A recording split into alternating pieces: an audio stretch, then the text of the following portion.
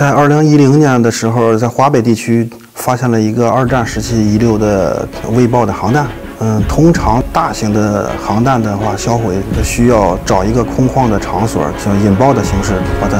销毁。但是现在基本上找不到这种合适的这种空旷场所，所以相关专家和领导呢，就决定采用我们现在低压水切割的形式去把它处理掉。传统的水切割呢，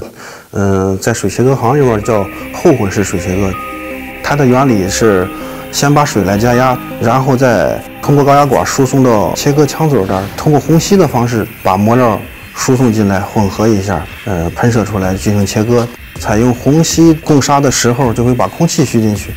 这是空气是在危化领域是最不安全的一个因素，所以我们现在叫低压两相混合射流，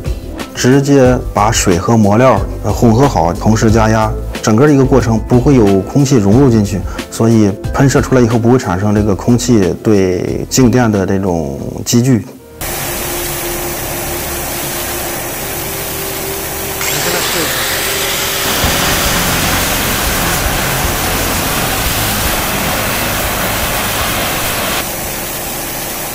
排出来的这个乙炔和氧气的混合气体对着这个切割点吹散一下，它不会把它引燃，证明我们这个。水切割切割过程不会产生静电，也不会产生火花，证明我们吧相对来说是比较安全的。